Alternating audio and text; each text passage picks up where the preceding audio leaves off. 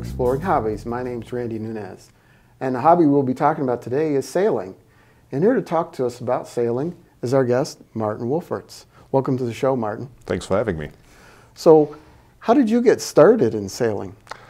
I started uh, sort of in my pre-teens. Friend of mine who happened to be a neighbor as well had a had a 470, which is a four meter 70 long boat, sort of a racing dinghy that that he raced in a sort of junior class in, on one of the one of the lakes close to where I grew up in Cologne in Germany. And I got interested in that. Anyway, when I was much younger, I always was interested by uh, in, in sort of naval life. Uh, so you read all these Treasure Island kind of things. Uh, so I always was, was interested in, in water, water sports, these things. And when, when this opportunity came along, um, I, I started sailing with him as the, as the foresailman in, uh, in, in, his boat. Um, that became more and more competitive. We raced for about three seasons, if I recall correctly. And then he moved, he moved, moved away, and I started school, and it, it was it, it sort of a died down a little bit. Um, and then um, actually much later, um, uh, I thought I wanted to go back to that, but at that time I was already too old and too uh, too cranky to uh, do dinghy racing. So I started um, racing with uh, a couple of friends that had a boat at the DYC, and started started started racing with them on a C&C 29, which is a really nice keel boat, very very stable, but still fast enough, competitive enough. Um, and since then, I've been sailing all along, more or less. So you mentioned a couple of different sailboats and some competitive things in there. Are there different types of sailing yeah. that you could talk about? Yeah, actually, there's, there's the, the, the type of boat most people really start with is um, a dinghy, i.e. sort of a, a boat that, that usually has a two, three person crew, um, usually very unstable, so you need to be on your tippy toes in order to sail it the right way, uh, to keep it the right side up in the water. Um, the good thing about these kinds of boats is they are actually very um, manageable in terms of cost and in terms of uh, in terms of uh, maintenance and and upkeep that that they need. You can you don't need um, uh, a marina, slip, or anything like that. You just launch them, sail, relatively easy easy to manage. But they require quite some athleticism if you if you want to if you want to sail them fast. Um, then the other major type of boat is really keel boats, boats that uh, uh, monohulls, one hull that have a, a, ballast keel underneath that usually under most of all circumstances really prevents it from tipping over in, in, in wind gusts or any, anything like that. Um, what I have become more and more interested in lately is actually multi-hull boats. Um, boats that um, have more than one, one hull, multi-hull trimarans or catamarans. Um, the reason for that is that um, they are actually really fast. Mm -hmm. It's much easier to sail a, to sail a multi-hull fast than a monohull. Um, they have some very interesting characteristics in terms of um, the, their behavior on the water that makes them kind of interesting to sail. Um, Is so that because they have fewer touch points on the water? Uh, there, there, are several sort of physical physical reasons for that. The the um, a, a, monohull is more or less um, in most circumstances limited in speed by its length because it's uh, it's a displacement uh, type of situation. That, that, means sort of the the um, the maximum possible speed is proportional to the length. The longer, the faster it can get. That's why you see these 70-foot uh, SCs or, um, that, that are racing well ahead of the crowd in a Mackinac race. Um, but with um, there is a situation where sailboat starts planing, i.e. sort of it lifts itself depending on the speed, it lifts itself out of, out of the wave and then is no longer depending on its length in terms of maximum speed. uh, to get a keelboat there, you have to have the right conditions. You have to have the right form form of the hull, and you have to have, have the right conditions. Usually, that only happens when uh, you have the wind really well from abaft. For multi-hulls, you don't really have that situation. They are sort of in planing mode all the time. So even with very, very limited wind, they more or less take off rather quickly, hmm. which is one of the things that makes them both interesting and challenging because they are um, significantly more um, volatile in terms of their behavior than keelboats are. Um, but that makes them interesting, so uh, I, I started to get interested in that. So you talked about different kinds of equipment. Do people sail for pleasure or for uh, racing or combination, or how, how do people?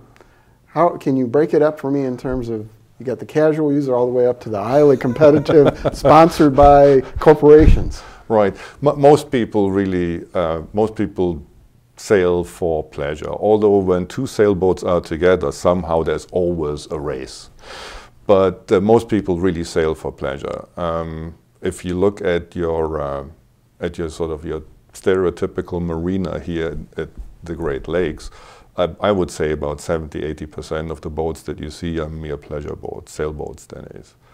Um, however, there are actually, and that's, that's one of the classes that I sailed in, there are classes of, of competition that you can actually uh, participate in as with a cruising boat, with uh, your normal leisure type craft, which makes it really very accessible.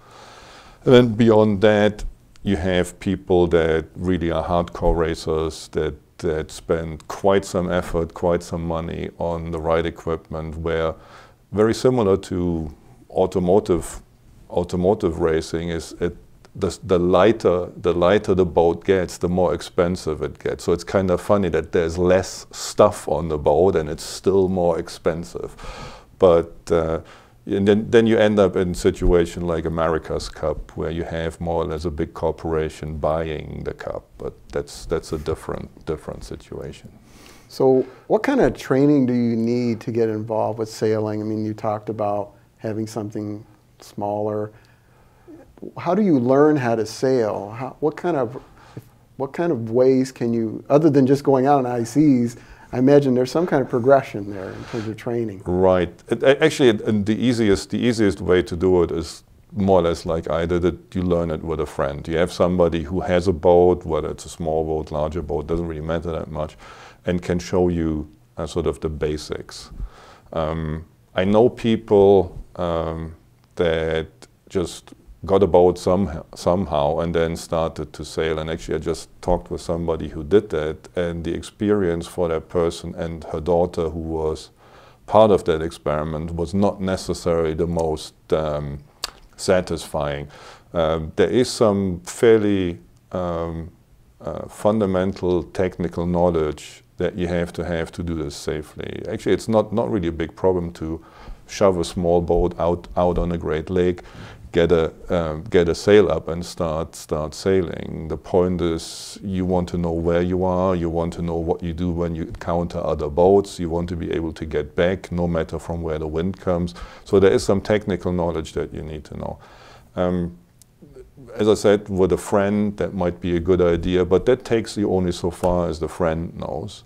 And um, it, you might you might want to go into different directions. As a as a complete beginner that hasn't got a um, an opportunity to sail with somebody else, um, there are actually sailing clubs or yacht clubs that have really interesting beginners programs. So the DYC Detroit Yacht Club that I sailed with for a while has a Flying Scots program for beginners that is actually inexpensive, very accessible at a really at a really very nice, nice pace where over a season people start sailing with Flying Scot. It's a sort of a very small, very manageable boat under supervision with, with good teachers and then more or less um, work themselves up to be able to helm and control a boat by themselves. And at the end of the season, they are, in, they are very safely in a position to manage a boat.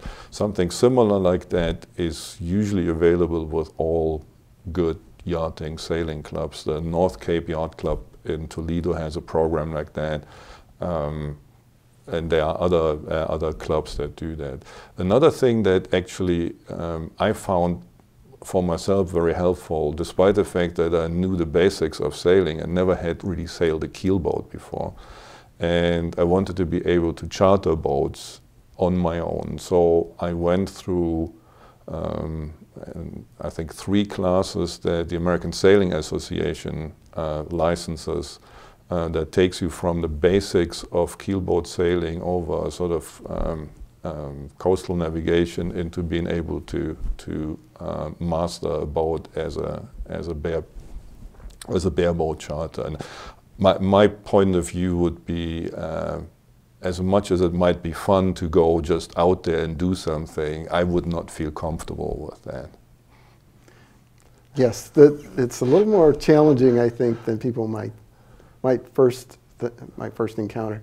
So with that, do you need some kind of credentials or licensing? I mean, you are operating a boat, although there's no well, there usually is, I guess, no motor. Is there any kind of credentials that you need to do that? Actually, all all sort of keel, keel boats to mostly have have some some auxiliary engine, either diesel or an, outboarder.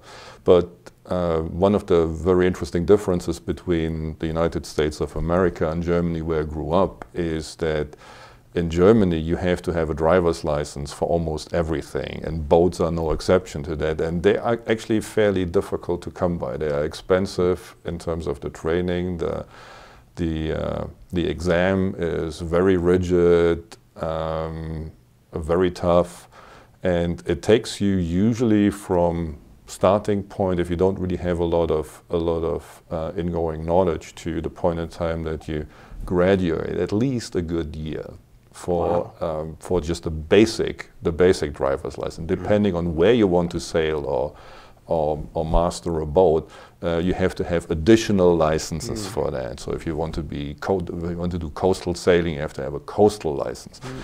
Um, I, I, really appreciated the the uh, situation here, where if you feel if you feel um, capable to do that, you can do that. Now, insurances usually are looking for some sort of a, um, um, a proof of qualification. So the fact that I did these three classes that I talked about um, helped me with the insurance premium for my boat. So but it's not it's not required. If you don't, I, I, I believe if you don't um, if you don't master a boat for commercial purposes here, you don't need to have um, a license for that. So speaking of that, in terms of having your own boat, I can imagine the costs of these must be on the more expensive side from a hobby perspective. Can, even if you don't know prices, can you give me an idea of okay, the smaller boats and the boats get larger? It, and it really depends. Um, so I'm by nature I'm cheap, so it's not really it's not really uh, enormously expensive. The, the the the easiest and most cost efficient way to get to a boat uh, and, and sail is really uh, a beach cat or a small dinghy like a sunflower or something like that, that you more or less can transport on uh, the top of your car. You sort of mm. launch it, launch it on a lake or launch it at a, at a beach. Uh, and sail with it. Perfectly, perfectly okay. You can do that for something like fifteen hundred bucks, mm. and you sail. Uh, you don't really have a lot of creature comforts. Um, things like you, you, might want to have uh, you might want to have something to eat or to drink, or uh, you might want to have other comforts. You you won't find that. Um, if you go into larger boats like keel boats, like like boats that have a cabin, then you have to count. You have to account for uh, marina fees. You have to account for fuel usually. Um, launching and hauling the boat costs money. Um, I still find, compared to Germany or the European situation, it it is a it is a, reasonably reasonably um, inexpensive uh, proposition here. The, the, overall cost of managing, maintaining a boat here in the, in the, uh, along the Great Lakes is significantly cheaper than anything that I ever imagined in, in Germany. Well, that's good news for hobbyists who might want to be interested in it. So, how can people get more information around sailing? So, if someone's interested in learning about sailing, uh, how would you recommend, what kind of resources would you point them to? How would you recommend they kind of get started? So there is, there is the American Sailing Association, which has a website which is very, very useful and very helpful. There are local clubs. I mentioned to the Detroit Yacht Club, North Cape, Bayview. Uh, there are marinas where uh, sailors are usually people that seem to uh, like company, that like to talk about their their hobby, so it's perfectly okay to just walk to somebody up uh, in a friendly way and start start a conversation. Um, has, has happened to me several times. Um, there, there, are some there are some programs that I find really interesting. The the University of Michigan has a beginner sailing program, which is really a very interesting proposition. It is self-paced. Um, it is um, very inexpensive. I think there's really only a nominal fee. It's uh, on, the, I think the, the, the, facilities that they use are on Baseline Lake, which is just a little bit west of, of Ann Arbor. Uh, they have uh, Saturday classes for people. It's, it's a very informal way of doing it. You show up, uh, you, you talk about with, with, the, uh, with the staff and with the team there about what you want to do you uh, get get get lessons, can sail on baseline lake. Very very nice program. Um, that that would be something if one somebody just wants to to get an idea that I would say might be very interesting. Another thing that that I find interesting is mm, just being a spectator at one of the one of the races. So there's a um, actually any major club has some sort of a um, a Wednesday, Thursday, or Friday night beer can race, which is usually cruising boats that compete for fun. There's usually some social aspect to that. That's that's always interesting to watch. Uh, Port Huron Mackinac clearly something that one can look at, and there's a lot of a lot of activity both in Port Huron and along the coast up to up to Mackinac, where people uh, around sailing are available. So there's a lot of things that, that, that you can do now. So what do you like the most about sailing? What, what drives you to go out on the high seas? And, and if we have time, could you explain to me how you sail against the wind? Because I, I, see it, but I don't really understand it. Um, it will be difficult to explain that without having a model and with a lot of without a lot of talking we'll, with we'll, my we'll hands. Skip, but we'll skip that. But it, I, I, can I can what, try. What, what excites you about? Let's go back to what's what what is what is it that excites you most about sailing? Sail, sailing is one of these things where um, th there is a technical challenge and this is just my own, own level of interest in, in things. There's a technical challenge, so there is it's something that you need to know about about a little bit in order to even start it. It's something where you can both apply your brain and your muscle. Uh, it's something that um, has a little bit of possible competition, but is really not forcing you to do that. Um, and compared to power boating, you do something. There is not, there's, even if you're cruising, uh, most sailors will say that there's always something that they're looking at, want to adjust, want to trim this way or that way. So while, while it doesn't consume your entire, your entire um, focus, it's still something that can be done. If you're a power boater, and I'm not bad mouthing any power boaters by no standard, it's a relatively straightforward, straightforward exercise, and there isn't really, besides docking and undocking, a lot of really technical challenge in there. So that that's what what what what I find interesting, and then the idea of of operating with a power source that is just there and does what it wants and you really don't have any control over that is something that I find interesting. Yeah, it doesn't sound very relaxing. It, it depends on what, what, and really it depends on the situation that, that, that you're in. My, my wife and I usually sail together, and she's not really into fast sailing, she's not really into sailing at higher wind conditions or above 15 miles per hour wind, she doesn't, she isn't really comfortable. So what we usually do together is we sail in circumstances that are comfortable for her and that are usually not very challenging. Now, if I sail with friends, then we do different things. And um, we sail uh, usually a little bit faster, usually in wind conditions that are a little bit higher. So it's, it's, a, different, it's a different situation. But you can, you, to a large extent, if you plan, if you plan well, you can really pick it. Hmm. Well, when you're when you're sailing with a group of people, how how do you uh, what how many do you have, and how do you make sure you don't sort of run into each other, I guess, but still stay together? How do, how does that work? Um, with several people, several crew on the boat. Well, several boats in the water. Are you talking um, about several boats or several people on the same boat? So several people on the same boat can actually far more can be far more dangerous than with several boats in the water. No, they're, they're actually the rules of the road. Another good reason to at least take one class to understand what the rules of the road are. When you are racing, and then that's uh, maybe the picture that you have in your mind, where you have something like 25 boats lined up in about 100 yards of starting line or so, and all are moving it's a, it's a very interesting situation, the most interesting situation in a race, actually. And there are rules of the road, there are um, rules as to who has the right of way in what situation, depending on the wind, depending on where you're going, where you're coming from. Um, that actually, that actually in normal situation, in non-competitive situation, is really not a big problem.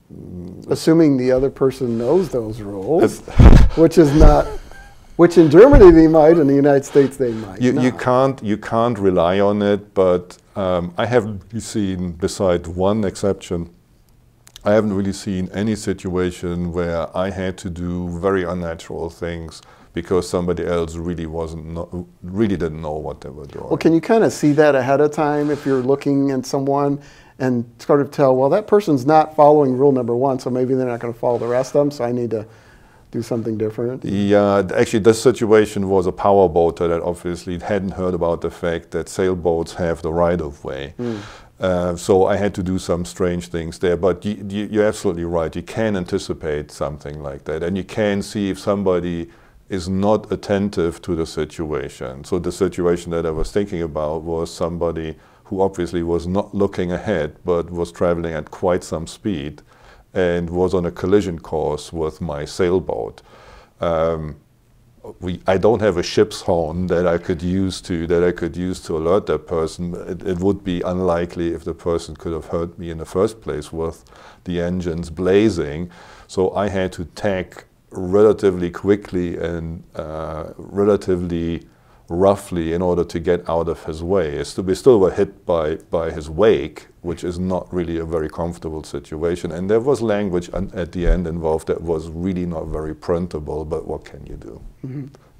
So back to the sailing question about sailing against the wind. Can, can you give me at least some idea of what that technique is like? Because it looks pretty challenging you, you actually do not sail right into the wind. It's, it's, it's physically impossible to sail right into the wind. But depending on how your, how your boat is laid out, uh, and actually there's a difference between uh, monohulls and multi-hulls as well, depending on your boat, how your boat is laid out, you can sail up to about 30 degrees off the wind. Um, the way of how this works is that specifically with with keel boats, you have a lot of lateral area. So you the the the, um, the, the drag that you have uh, going straight through the water is significantly lower than the drag that you would have if the, if you would push the boat sideways, mm -hmm.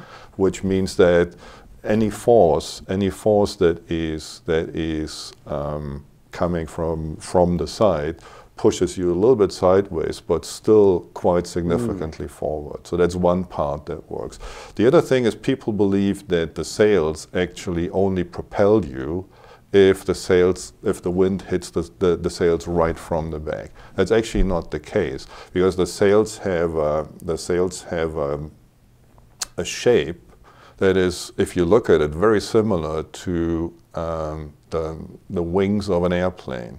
So you create a pressure system that actually uh, mm -hmm. sucks you forward and pushes you pushes you from from the back. Mm -hmm. Specifically, if you have two sails, like a normal sloop would ha would have uh, a foresail and a mainsail, then these two sails, if they are trimmed correctly, actually reinforce each other and create a stream that then pushes even further.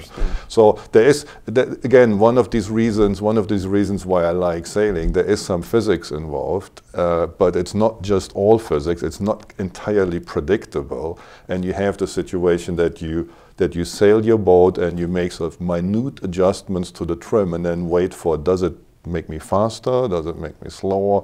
And so there's, there's always something to do.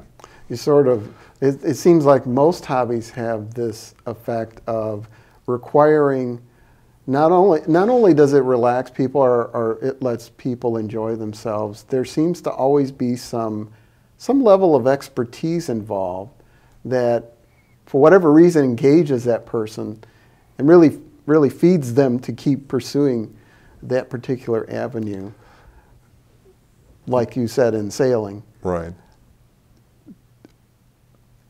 you talked about not liking other parts of uh, maybe the powerboat people are not necessarily in favor i guess with you. Is there is there is it fair to say there's a somewhat of a rivalry between the this sailing community and the and the, or sort of the organic power community and the human created power community? Is there any kind of dynamic going on there? I, there clearly is a dynamic. I'm, I don't. I, I think a, a, lot of people, a lot of, and it's one of these. It's one of these rivalries like Ohio State and Michigan. While we couldn't have fun if we would wouldn't play each other, there is still some sort of a tension in there. And that tension, is, I think, is there at least between uh, powerboaters and sailors as well. I don't think there is animosity or anything like that, but we look at each other and say, yeah, that might be nicer, but I wouldn't do that. right? And actually, I think it's a vice, it's a vice versa type of effect. So, they, you have any nicknames for each other? anything you could say? Um, um, I think a perfectly printable is stink pot for a powerboat. Oh, really? So, so the sailing people call call the powerboaters a stink pot. Stink pot. What, where does that come from? Do you know? I, because there is always exhaust fumes that we don't produce, right? What did they call you? I don't know. Nobody has called me anything to my face yet. Oh, that's interesting. That's uh, yeah. I I find it that. It, you have I don't want to call it a cult, but you have this sort of following within the that whatever particular community, like the sailing community is, and there's always seemed to be an opposite, equal and opposite community, somewhat parallel, mm-hmm. but there's this kind of sideways looking at each other, going, "Yeah, I I see what you're doing, but what I'm doing is better." You know? I, I think that's that's sort of the, the, the, the nucleus of it, yeah. So, if if people, if someone wanted to go sailing, would you recommend they get a group of friends that maybe want to learn to do sailing and get someone to train them? Or is it, are there mechanisms where I myself can just go and get, get the training by myself, sort of, to speak? It really depends. It depends on. So the, the, the best way to have a boat is to have a friend who has a boat. Mm. So if you if you have that situation, you are lucky. You don't really have the expense. You don't have you don't have the hassle. You might want to help and work a little bit, but that's that's it. It really depends on where you are and what your interests are. Um, I, I I really believe that sort of starting with a group of people, and that might not be just your friends, but a club or somebody, um, a, a, school, uh, sailing school or something like that, is a, is a really good starting point. The best way to try it out is do that, because you can always say, okay, well, that, that was nice, but really wasn't my thing. I'd rather have my uh, 1500 horsepower cigarette boat and do a poker run on the Detroit River or something like that. And that's perfectly okay.